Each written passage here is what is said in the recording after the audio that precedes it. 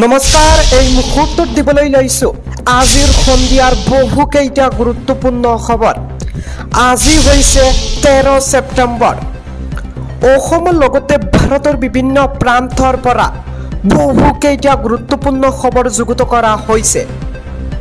আৰু এই ধৰণৰ খবৰসমূহ নিতৌ চাবৰ বাবে চেনেলটো ছাবস্ক্ৰাইব কৰি ভিডিঅ'টোত এটাকৈ লাইক কৰি দিব। তেন্তে আহক দৰ্শকসকল সন্ধিয়াৰ খবৰকেইটা আৰম্ভ কৰোঁ।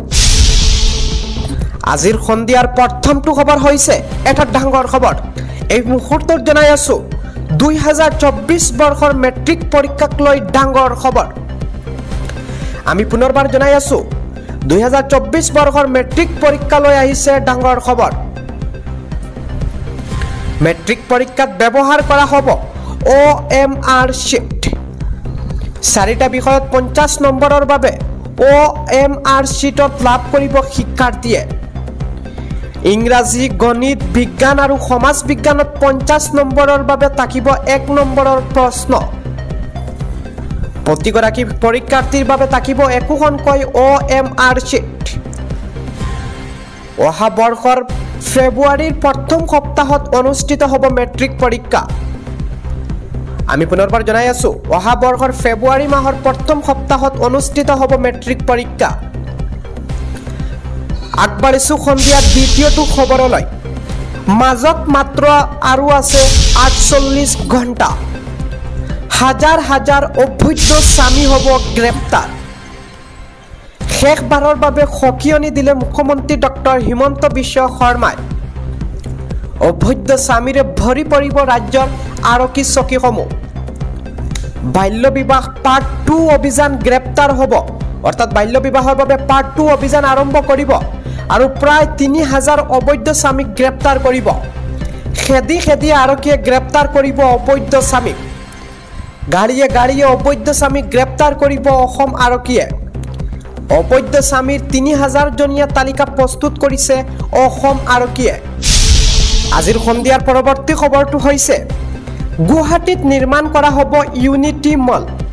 ব্যয় কৰা হ'ব দুইশ ছাব্বিছ কোটি টকা। আমি পুনৰবাৰ জনাই আছোঁ গুৱাহাটীত নিৰ্মাণ কৰা হ'ব ইউনিটি মল আৰু ব্যয় কৰা হ'ব দুইশ ছাব্বিছ কোটি টকা। আজিৰ সন্ধিয়াৰ আন এটা খবৰ হৈছে ভয়াৱহ পথ দুৰ্ঘটনাত এঘাৰজনৰ মৃত্যু। আন বাৰজনৰ অৱস্থা সংকটজনক।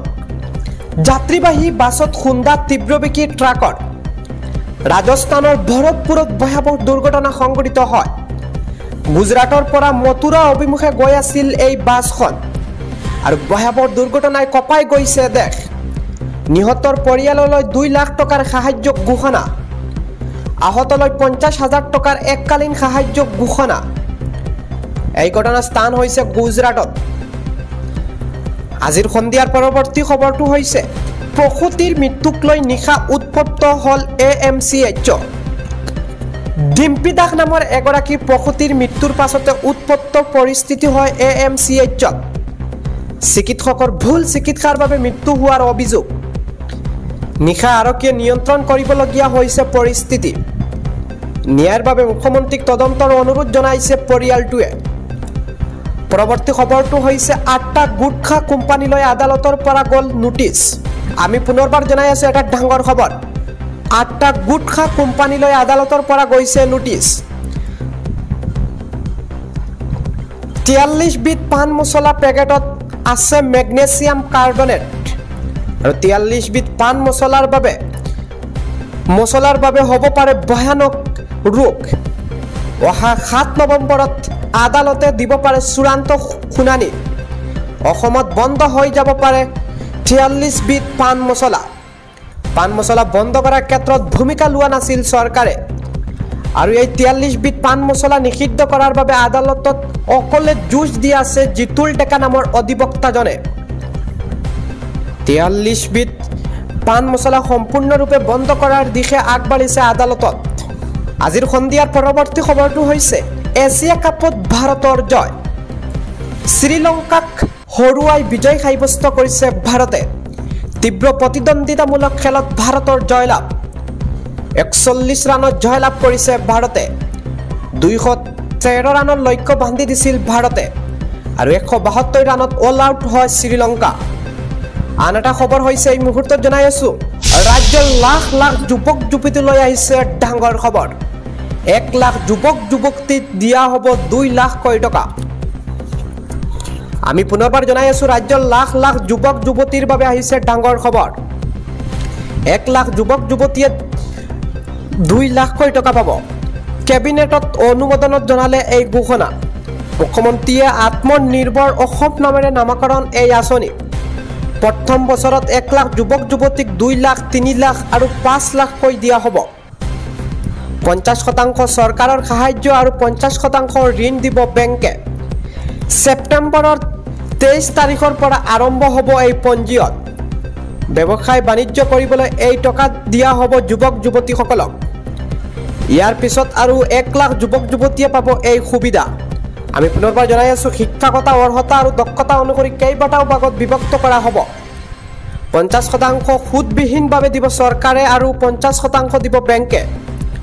পাঁচ বছৰলৈ সুদ দিব নালাগে এই ঋণত আমি পুনৰবাৰ জনাই আছোঁ পঞ্চাছ শতাংশ সুদবিহীন দিব চৰকাৰে আৰু পঞ্চাছ শতাংশ দিব বেংকসমূহে।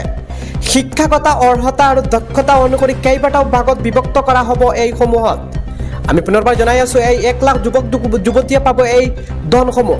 কেনেদৰে আবেদন কৰিব লাগে সম্পূৰ্ণ সবিশেষ জনাই দিম কেৱল মাত্ৰ মিডিল অসমৰ দৰ্শকসকলে জানিব পাৰিব।